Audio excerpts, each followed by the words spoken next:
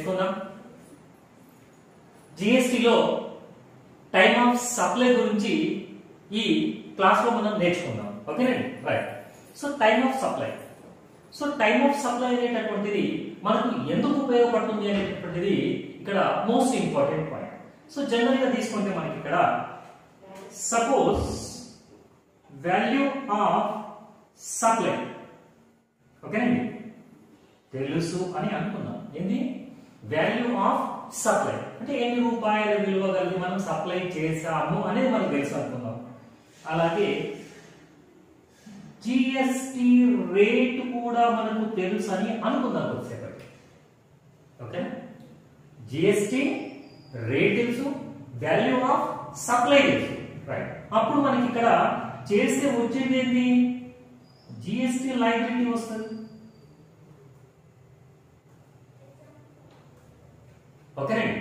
value of supply multiplied with GST rate, then we get GST liability. Okay, right? Suppose for example, suppose for example,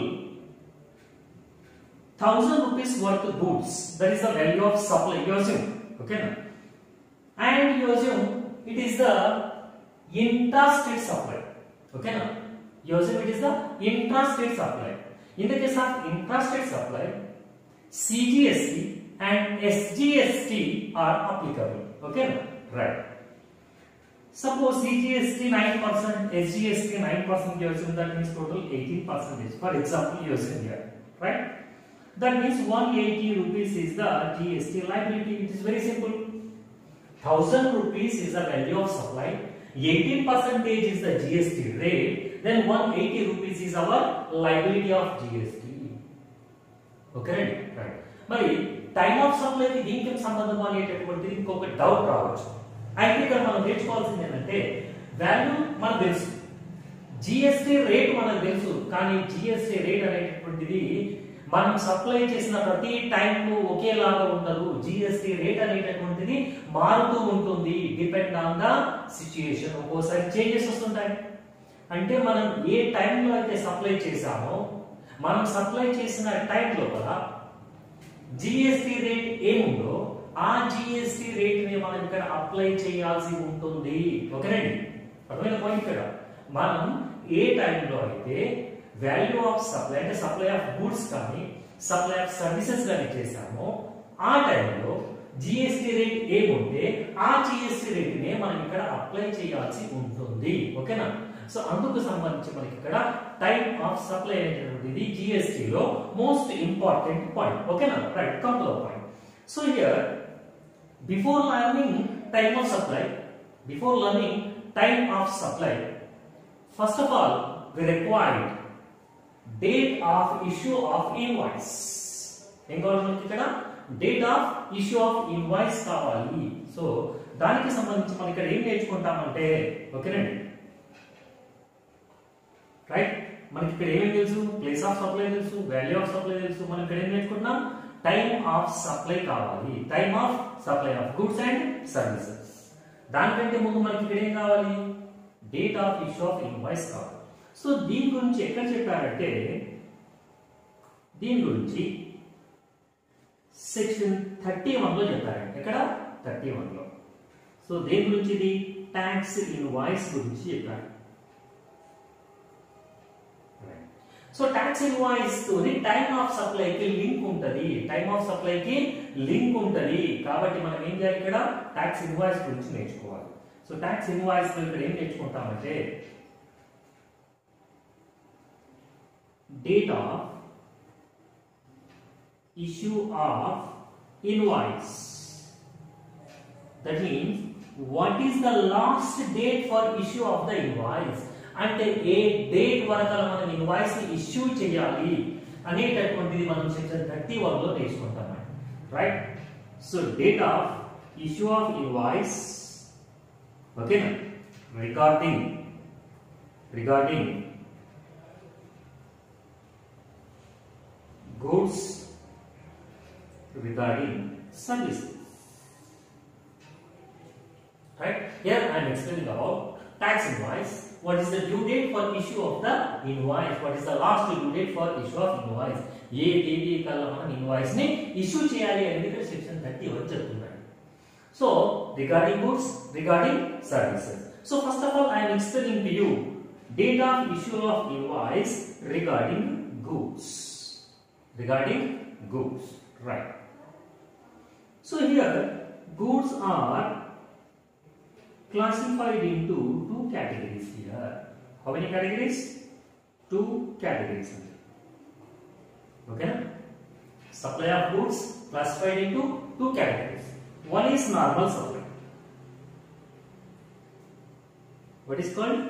Normal supply. Okay? Right. So another one is supply on approval basis okay na? in the case of goods one is normal supply another one is supply on approval basis okay right now come to the point normal supply normal supply again classified into here two categories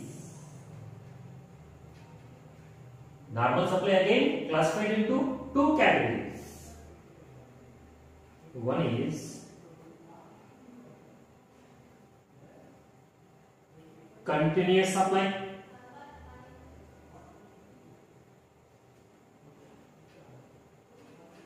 okay other one is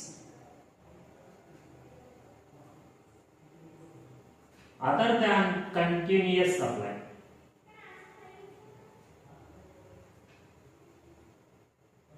of goods because I am explaining here goods. Goods, two types, normal supply, supply on approval basis. So first of all I am explaining here normal supply. So that means general supply. This normal supply again classified into how many categories? Two categories. One is continuous, other one is other than continuous uh, supply of goods. So continuous supply ఏంటి other than continuous supply అంటే ఏంటి ఇక్కడ so ఇక్కడ continuous supply అంటే అర్థం ఏంటంటే suppose మనము agreement చేసుకున్నాం okay suppose నేను డీలర్ అనుకున్నాం రైట్? నేను ఒక రీటైలర్తో అగ్రిమెంట్ చేసుకున్నాను రీటైలర్తో ఏ విధంగా అగ్రిమెంట్ చేసుకున్నా అంటే నీకు కంటిన్యూస్గా నేను గూడ్స్ని సప్లై చేస్తా అని చెప్పి మనం అగ్రిమెంట్ చేసుకున్నాము. ఓకేనండి దాన్ని మనం ఏమంటాము? కంటిన్యూస్ సప్లై అని అంటాం. సపోజ్ నేను ఐటీసీ ఏజెంట్ అని అనుకున్నాను. రైట్? సో ఐటీసీ ఏజెంట్ అయితే ఈ ఐటీసీ సారీ ఐటీసీ డీలర్ అని అనుకున్నాను నేను ఐటీసీ డీలర్ అని అనుకున్నాను. ఐటీసీ డీలర్ అయితే నేను రిటైలర్స్కి రిటైలర్స్కి ఏం చేస్తాను? డైలీ సరుకులు సప్లై చేస్తూ ఉంటాను. ఓకే అగ్రిమెంట్ ప్రకారము టోటల్గా ఎప్పుడు కంటిన్యూస్గా సప్లై చేస్తూనే ఉంటాం దాన్ని మనం కంటిన్యూస్ సప్లై అని అంటాము. Point right so in the case of continuous supply what is the due date for issue of invoice okay right so in the case of continuous supply continuous supply అంటే అర్థమైంది అనుకుంటాను suppose నేను ఒక డీలర్ని నేను ఏజెంట్స్కి అంటే మన రీటైలర్స్కి రెగ్యులర్గా మనం సప్లై సప్లై చేస్తూ ఉంటాం. సప్లై చేసినప్పుడు ఎట్లా? ఈరోజు సప్లై చేస్తాం పేమెంట్ ఇప్పుడే వస్తుందా? పీరియడికల్గా అప్పుడప్పుడు వస్తుంటుంది మరి అట్లాంటి వాటి విషయంలో మనము ఇన్వాయిస్ డేట్ని ఎలా తీసుకోవాలనే విషయానికి వచ్చేసరికి so point number one Point number one, before. Or at the time of. Before or at the time of issue of.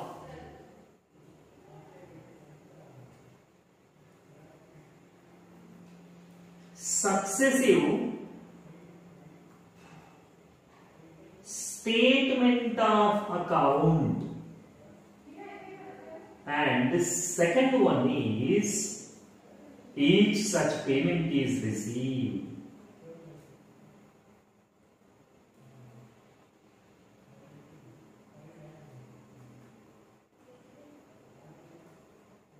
Okay, right. Before or at the time of at the time of issue of successive statement of account or each such payment is received. Each such payment is received. అంటే ఇక్కడ మనం కంటిన్యూస్గా supply చేస్తుంటాం. Supply చేసినప్పుడు ఏం చేస్తుంటాము? అప్పుడప్పుడు statement పంపిస్తుంటాం. ఏమని? సో ఇప్పటిదాకా నీకు ఇన్ని ఇన్ని రూపాయల విలువైనటువంటి సరుకులను సప్లై చేశానని రీటైలర్కి ఒక స్టేట్మెంట్ పంపిస్తాం. ఓకేనా? ఆ స్టేట్మెంట్ పంపించినప్పుడు కానీ లేదా మనకు అమౌంట్ కూడా వాళ్ళు ఎట్లా పేమెంట్ చేస్తుంటారు? అప్పుడు కొంత ఇప్పుడు కొంత పేమెంట్ చేసుకుంటూ వస్తుంటారు రిటైలర్స్ ఒకటేసారి పేమెంట్ చేయరు మనం రోజు సప్లై చేస్తుంటాము వాళ్ళ దగ్గర డబ్బులు ఉన్నప్పుడల్లా వాళ్ళు మనకి ఇచ్చుకుంటూ పోతారు. ఆ తీసుకున్న ప్రతిసారి అయినా సరే each such payment is received each such payment is received payment తీసుకున్నప్పుడు కానీ తీసుకున్న ప్రతిసారి కానీ లేదా before or at the time of issue of statement of account మనం అప్పుడప్పుడు ఇప్పటిదాకా నీకు ఇన్ని రూపాయల విలువైనటువంటి సరుకులను పంపిన మన స్టేట్మెంట్స్ పంపిస్తుంటాం కదా ఆ స్టేట్మెంట్ పంపించినప్పుడైనా సరే దాన్ని మనం డేట్ ఆఫ్ ఇష్యూ ఆఫ్ ఇన్వాయిస్గా తీసుకుంటాము. ఓకేనండి? Right. Next. Other than continuous supply other than continuous supply అంటే నేను పోయాను. సపోజ్ ఒక షాప్లోకి సామాన్ కొనుక్కున్నాను వచ్చినాను అంతే. దాన్ని ఏమంటాము? అదర్ దాన్ కంటిన్యూస్ సప్లై ఓకేనా? ఒక షాపింగ్ మాల్ పోతాము లేదా ఇంకెక్కడ షోరూమ్కి వెళ్తాము వెళ్ళి ఏం చేస్తాము మనకు కావాల్సిన ఒక సరుకుని కొనుక్కొని వస్తాము దానిని ఏమంటామంటే అదర్ దాన్ కంటిన్యూస్ సప్లై అని అంటాము ఓకేనా కంటిన్యూస్ సప్లై అంటే మనం రోజు సప్లై జరుగుతూనే ఉంటుంది అదర్ దాన్ కంటిన్యూస్ అంటే పోతాము కొంటాము వస్తాము అంతే దాన్ని ఏమంటాము other than continuous supply right so in the case of other than continuous supply again it is classified into two categories ఓకేనండి where there is a movement of goods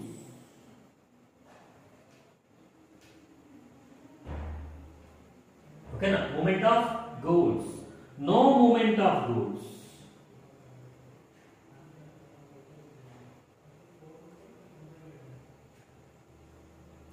right? Other than continuous supply. Again classified into two categories. One is movement of goods another one is no movement of goods right so what is the meaning of moment of goods and what is the meaning of uh, meaning of no moment of goods? Moment of goods అంటే ఏంటి? No moment of goods అంటే ఏంటి అంటే మనకు కావాల్సినటువంటి point అండి ఇక్కడ right so moment of goods అంటే సపోజ్ ఫర్ ఎగ్జాంపుల్గా నేను ఇక్కడ జహీరాబాద్లో ఉన్నాను అనుకున్నాను రైట్ ఎక్కడున్నాను? జహీరాబాద్లో ఉన్నాను రైట్ ఈ జహీరాబాద్ నుండి సరుకులను నేను ఏం చేశానంటే సపోజ్ ముంబైకి సప్లై చేయాల్సి వస్తుంది. ఇక్కడ నుంచి? జహీరాబాద్ టు ముంబై. ఈ జహీరాబాద్ నుంచి ముంబైకి మనం సప్లై చేస్తున్నాము సరుకులను అంటే ఇక్కడ నుంచి అక్కడికి సరుకులు వెళ్తున్నాయి ఓకేనా? నా కస్టమర్ ఎక్కడ ఉన్నాడు ముంబైలో ఉన్నాడు. నేను ఎక్కడ ఉన్నాను జహీరాబాద్లో ఉన్నాను. అంటే జహీరాబాద్ నుంచి ముంబైకి సరుకులను మనం ఏం చేస్తున్నాము? సప్లై చేస్తున్నాము. దాన్ని ఏమంటారంటే మూవ్మెంట్ ఆఫ్ గూడ్స్ అని అంటాము. దాన్ని ఏమంటాము? మూవ్మెంట్ ఆఫ్ గూడ్స్ అని అంటాము. నో మూమెంట్ ఆఫ్ గూడ్స్ అంటే సపోజ్ ఫర్ ఎగ్జాంపుల్గా మనం షాపింగ్ మాల్కి వెళ్తాం. ఓకేనండి ఏం చేస్తాము? షాపింగ్ మాల్కి వెళ్ళినామని అనుకుందాం కొద్దిసేపు. రైట్ షాపింగ్ మాల్కి వెళ్ళినాము షాపింగ్ మాల్లో మనకు కావాల్సిన సరుకులను మనం తీసుకున్నాము అక్కడ కౌంటర్ దగ్గర డెలివరీ ఇచ్చారు. తీసుకొని మనతో పాటే వచ్చాము మనతో పాటే వచ్చాము దానిని మనము నో మూమెంట్ ఆఫ్ గూడ్స్ అని అర్థమైన పాయింట్ మూమెంట్ ఆఫ్ గూడ్స్ అంటే సెల్లర్ ఒక దగ్గర ఉన్నాడు. ఓకేనా? పర్చేజర్ ఇంకో దగ్గర ఉన్నాడు. ఓకే అండి సప్లయర్ ఒక దగ్గర ఉన్నాడు. రిసిపియంట్ ఇంకో ప్లేస్లో ఉన్నాడు. అంటే సపోజ్ సప్లయర్ హైదరాబాద్లో ఉన్నాడు. రిసిపియంట్ ముంబైలో ఉన్నాడు అనుకోండి. అంటే సప్లయర్ అనేవాడు సరుకులను జైదరాబాద్ నుంచి ముంబైకి ట్రాన్స్ఫర్ చేస్తే దాన్ని ఏమంటాము? సప్లై చేస్తే దాని మూవ్మెంట్ ఆఫ్ గూడ్స్ అని అంటాం. ఓకేనా? సపోజ్ నాకు కావాల్సిన సరుకులు ఉన్నాయి. నాకు కావాల్సినటువంటి సరుకులు నేను ఏం చేశాను? డైరెక్ట్గా వెళ్ళాను షాప్ లోకి షాప్ లోనే కొన్నాను నాతో పాటే తెచ్చుకున్నాను దాన్ని ఏమంటారంటే నో మూమెంట్ ఆఫ్ గూడ్స్ అని అంటారు ఓకేనా right so in the case of movement of goods in the case of no movement of goods how to how to determine the date of issue of invoice so here in the case of movement of goods ఓకేనా in the case of movement of goods so date of issue of invoice is date of removal of goods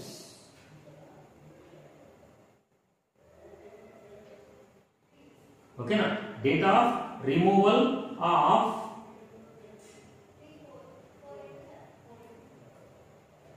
goods is the date of issue of invoice. Date of removal of goods is the date of issue of invoice.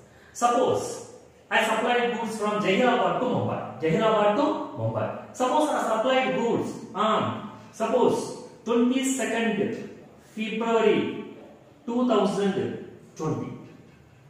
Okay, na? I supplied goods on which date? 22nd February 2020. That is the removal of goods. Removal of goods. Jahirabad to Mumbai. We sent goods. We supplied goods.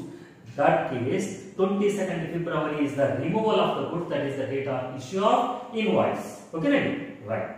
Next, to come to the point. Now I am going to explain. No movement of goods. When there is no movement of goods. Okay? No movement of goods. No movement of goods means suppose here I am explaining by using two examples. Suppose నాకు ఇక్కడ ఒక shopping మాల్కి వెళ్ళాను అనుకుందాం. ఓకేనా Inorbit మాల్కి వెళ్ళినా అనుకుందాం. సో ఇన్ఆర్బిట్ మాల్కి వెళ్ళిన తర్వాత ఏం చేశానంటే నాకు కలిసిన కావాల్సినటువంటి క్లాత్స్ పర్చేజ్ చేశాను. ఓకేనా షర్ట్స్ ప్యాంట్స్ పర్చేజ్ చేశాను.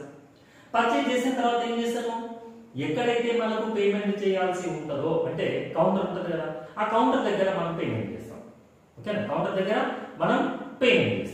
సో పేమెంట్ చేసినప్పుడు వాళ్ళు ఆ టైంలో మనకి ఇక్కడ ఇన్వాయిస్ని ఇష్యూ చేయాల్సి ఉంటుంది. ఇన్వాయిస్ని ఇష్యూ చేయాల్సి ఉంటుంది రైట్ అంటే దానికి ఏమంటామంటే ఇక్కడ delivery of goods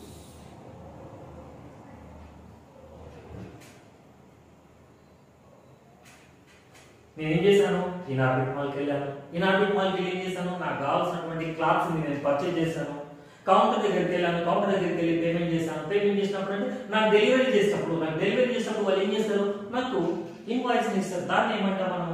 Date of issue of invoice అని అంటాం. Right where there is no moment of goods so ఇంకొక పాయింట్ ఇంకో ఎగ్జాంపుల్ తీసుకుందాం ఇంకో ఎగ్జాంపుల్ ఏంటంటే సపోజ్ నేను కార్ కొనుక్కోవాలనుకుంటున్నాను. ఓకేనా ఏది? కార్ కొనుక్కోవాలనుకుంటున్నాను. సో కార్ కొనుక్కోవాలని చెప్పి ఏ కార్ కొనాలనుకుంటున్నానంటే ఫర్ ఎగ్జాంపుల్గా ఎంజీ హెక్టార్ కొంటామని అనుకుంటున్నాను. ఏది? ఎంజీ హెక్టార్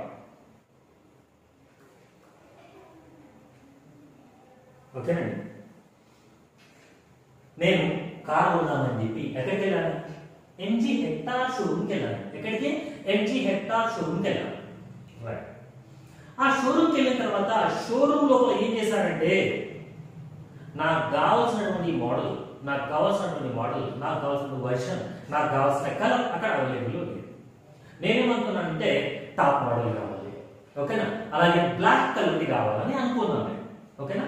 నాకు బ్లాక్ కలర్లో ఉన్నటువంటి ఎంజీ హెక్టార్ కొనాలని నాలో ఉంది.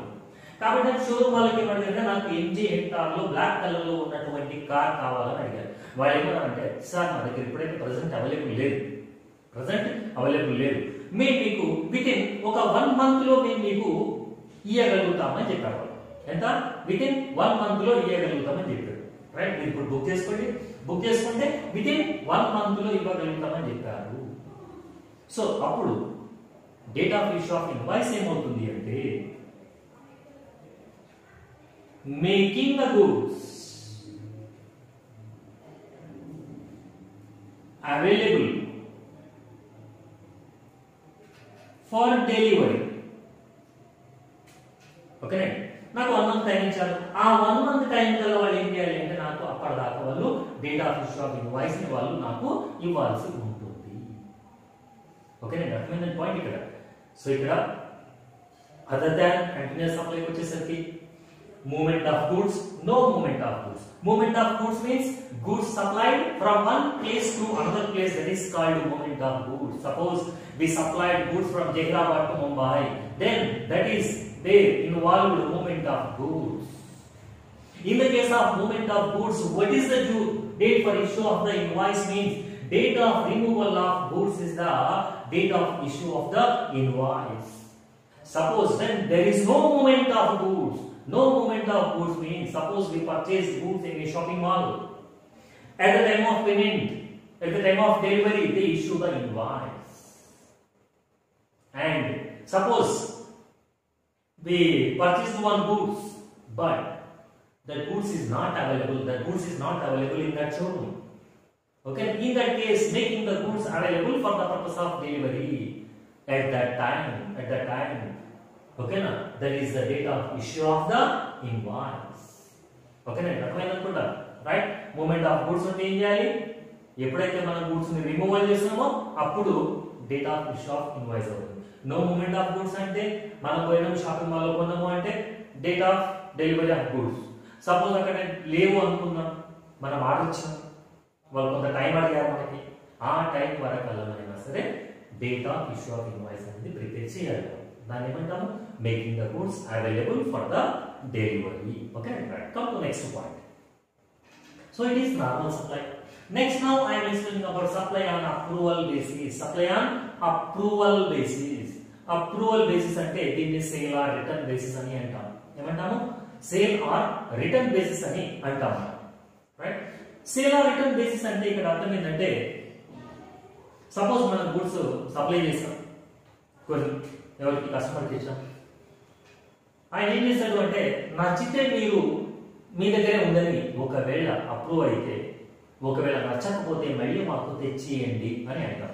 దీన్ని ఏమంటామంటే supply on approval basis supply on approval basis okay suppose జనరల్గా తీసుకుంటే ఓకేనా? మనము మన దగ్గర ఒక శారీ షాప్ ఉందని అనుకుందాం. ఓకేనా? ఏముంది? శారీ షాప్ ఉందని అనుకుందాం. సో జనరల్గా లేడీస్ ఏం చేస్తారంటే వస్తుంటారు శారీస్ తీసుకొని పోతుంటారు. వాళ్ళకి ఏం చేస్తామంటే మనము మీరు కావాలంటే ఇక్కడ నుంచి ఒక ట్వంటీ తీసుకోకూడదు ఓ థర్టీ శారీస్ తీసుకో మీకు నచ్చినవి ఉంచుకోండి మీకు నచ్చనటువంటి మళ్ళీ తెచ్చి మాకు ఇవ్వండి అని చెప్పారు. దీని ఏమంటాం మనం? సప్లై ఆన్ అప్రూవల్ బేసిస్ అని అంటాం. సప్లై ఆన్ అప్రూవల్ బేసిస్ అంటాం. లేదా ఇంకో కొన్నిసార్లు మనం ఏం చేస్తామంటే కొన్ని శాంపుల్స్ ఇస్తాం. ఓకేనా? రైట్ శాంపుల్ మీకు అప్రూవల్ అయిందనుకోండి తర్వాత మేము సప్లై చేస్తామని చెప్తాం. అర్థమైంది పాయింట్ ఇక్కడ? రైట్ అయితే ఇక్కడ మనము శారీస్ని వాళ్ళకి ఇచ్చాం. అమ్మాయి కస్టమర్స్ ఓకేనా? మన క్లయింట్స్కి ఇచ్చేస్తాం సో కస్టమర్స్ శారీస్ తీసుకుపోయారు. రైట్ వాళ్ళు అప్రూవ్ చేశారు. అప్రూవ్ చేశారంటే అప్పుడు మనం ఏం చేయాలి? ఇన్వాయిస్ని ఇష్యూ చేయాల్సి ఉంటుంది. రైట్ సో దానికి for example before or at the time of before or at the time of supply before or at the time of supply issue the delivery issue the invoice okay right next suppose మనం goods ని supply చేసాం వాళ్ళు యాభై శాతం తీసుకుపోయారు కానీ మన దగ్గర నుంచి రిమూవల్ అయిన డేట్ నుంచి సిక్స్ మంత్స్ అయిపోయింది కానీ వాళ్ళు మనకి ఎలాంటి రెస్పాన్స్ కూడా ఇవ్వలేదు. అయితే అప్రూవల్ నాట్ అప్రూవ్డ్ అనేటటువంటి పాయింట్ మనకి ఏం చెప్పలేదు అనుకుందాం. అప్పుడు ఏం చేయాలి అంటే six months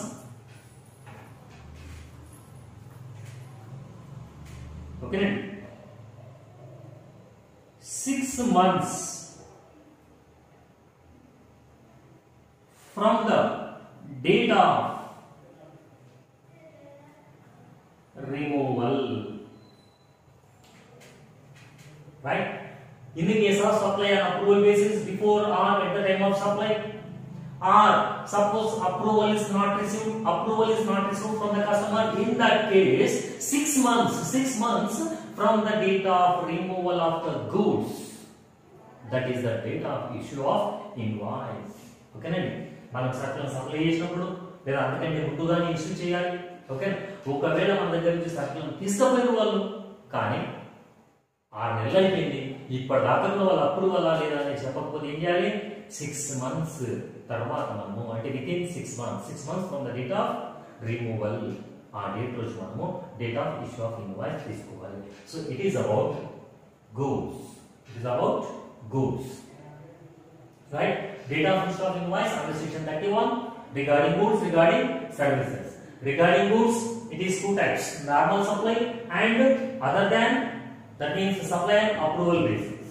normal supply again classified into two categories continuous supply other than continuous supply in the case of continuous supply so how to determine the date of issue of invoice in the case of continuous supply before or at the time of su- each issue successive each successive statement of account or each such payment is received ఏదైనా తీసుకోవచ్చు right Other than continuous supply, again it is classified into two categories: movement of goods when there is no movement of goods. When there is a movement of goods, okay, na? in that case, date of removal of goods is the date of issue of invoice. When there is no movement of goods, again it is two types. At the time of delivery of the goods, suppose goods are not available, in that case, making the goods available for the purpose of delivery on the date issue the invoice.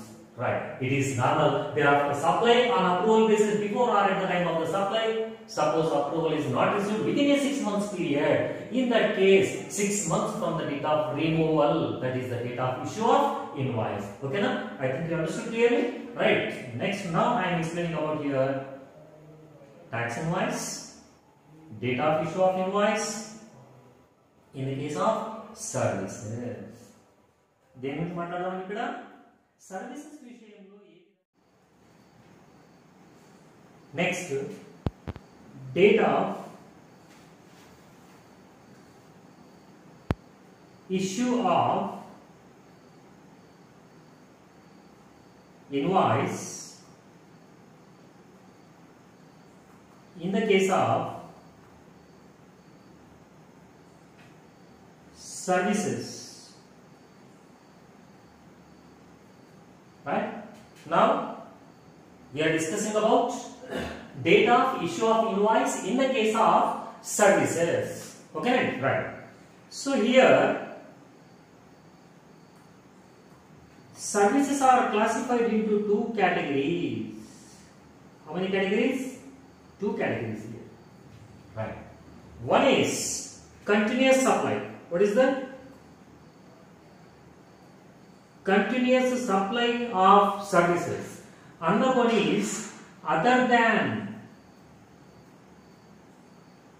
continuous supply of services. Right? So here continuous supply and other than continuous supply of services. So what is the meaning of continuous supply of service? Right? So suppose నేను GST classes నేను చెప్తున్నాను right ఈ GST syllabus complete చేయడానికి నాకు ఒక four months time పడుతుందని అనుకున్నాను right so students వచ్చారు.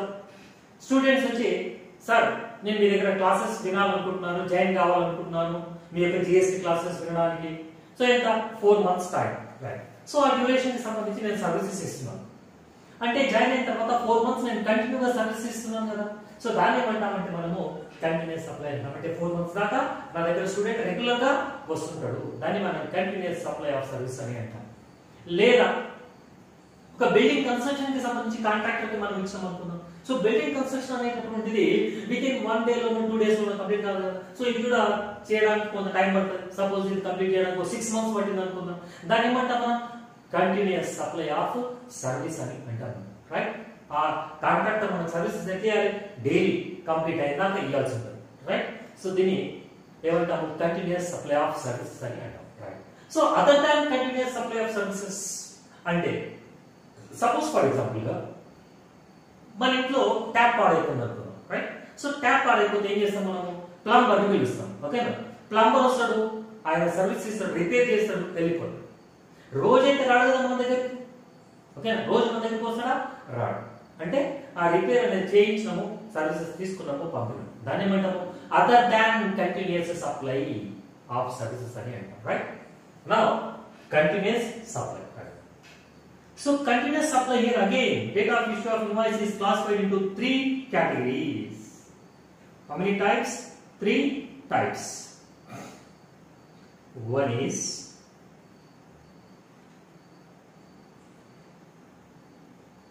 first one is due date of payment is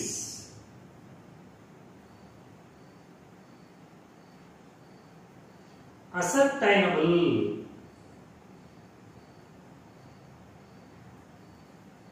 one is due date of payment is ascertainable and another one is due date of payment is not ascertainable.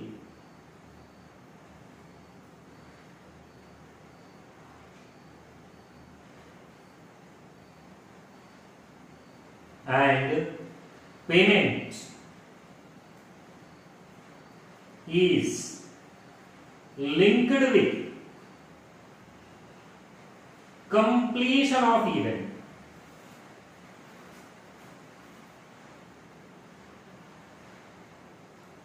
Right? So here it is classified into again three types.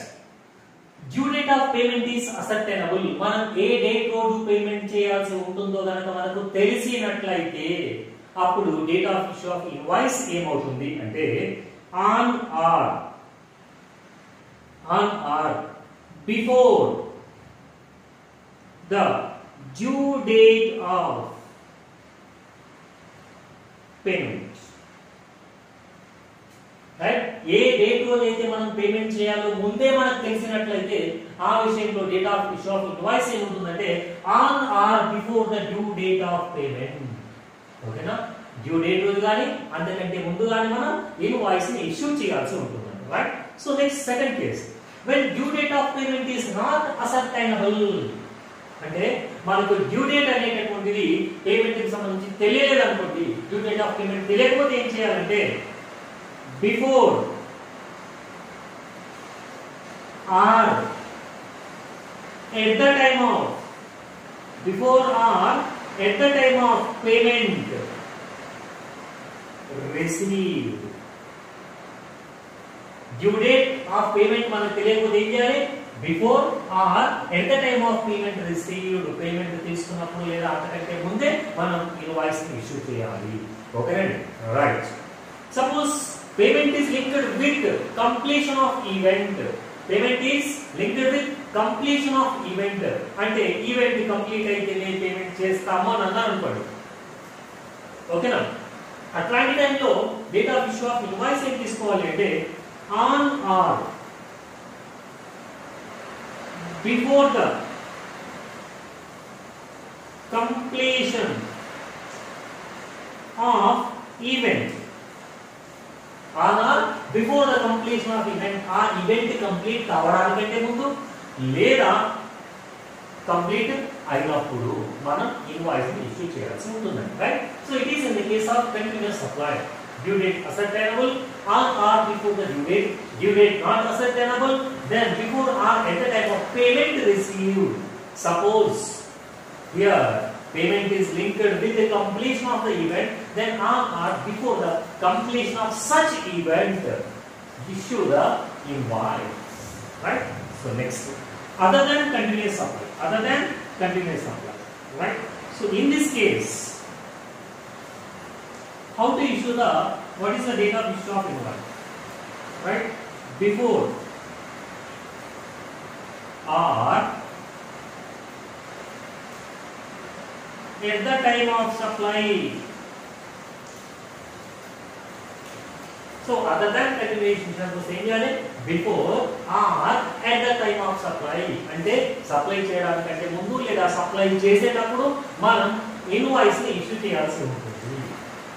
Suppose suppose invoice is after the completion of after the completion of supply of services. In that case in that case follow rule number 47 of GST okay na? Before or at the time of supply issued then okay. Suppose invoice is issued after the completion of service after the completion of service then follow rule number 47 So as per rule number 47, so they mentioned here within 30 days within 30 days from the date of supply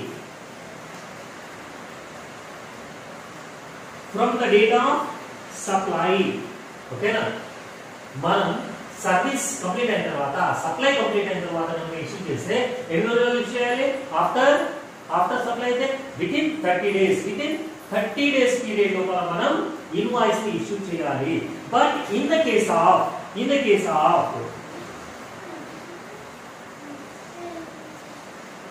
in the case of banking company and insurance company and in the case of financial institutions and non-banking financial institutions. In the case of banking company, in the case of insurance, in the case of financial institutions or non-banking financial institutions, in that case, within 45 days from the date of after the completion of supply of the business. Okay, na? issue the invoice. Okay, right? Other than continuous supply, before or at the time of supply issue the invoice suppose మనం supply చేసినప్పుడు కానీ అంతకంటే ముందు కానీ invoice issue చేయాలి. ఒకవేళ మనం కనుక సప్లై ఆఫ్ సర్వీస్ పూర్తయిన తర్వాత కనుక ఇష్యూ చేస్తున్నట్లయితే అంటే after the supply then as per forty seven rule as per forty seven rule within thirty days period లోపల within thirty days period లోపల మనము ఇన్వాయిస్ని ఇష్యూ చేయాలి. ఇది నార్మల్ కేసు పరిధి ఒకవేళ బ్యాంకింగ్ కంపెనీకి సంబంధించి కానీ లేదా ఇన్సూరెన్స్ కంపెనీకి సంబంధించి కానీ లేదా ఫైనాన్షియల్ ఇన్స్టిట్యూషన్స్ కానీ లేదా నాన్ బ్యాంకింగ్ ఫైనాన్షియల్ ఇన్స్టిట్యూషన్ విషయానికి వచ్చేసరికి ఫార్టీ ఫైవ్ డేస్ పీరియడ్ లోపల మనం ఇన్వాయిస్ని ఇష్యూ చేయాల్సి ఉంటుంది. Right so it is about section thirty one so section thirty one is applicable in the case of forward charge itself not in the case of reverse charge mechanism ఓకేనండి right so section thirty one ఎప్పుడు applicable అవుతుంది? Forward charge కేసులో కొన్ని applicable అవుతుంది. Reverse charge కేసులో applicable కాదు. So మనం ఇప్పుడు ఇక్కడ సెక్షన్ థర్టీ వన్ని క్లియర్గా నేర్చుకున్నాం సో సెక్షన్ థర్టీ వన్ అనేది దేనికి లింక్ ఉంటుందని చెప్పినాము? టైమ్ ఆఫ్ సప్లైకి లింక్ ఉంటుంది. రైట్ సో నెక్స్ట్ సెషన్లో మనము టైమ్ ఆఫ్ సప్లైకి సంబంధించి క్లియర్గా నేర్చుకున్నాం దానిలో సెక్షన్ ట్వెల్వ్ ఉంటుంది సెక్షన్ థర్టీన్ ఉంటుంది. రైట్ సో ధన్యవాదాలు. థ్యాంక్ యూ నెక్స్ట్ క్లాస్లో మనం టైప్ ఆఫ్ సప్లై గురించి డీటెయిల్గా ఉంటుందండి. ఓకేనా రైట్ థ్యాంక్ యూ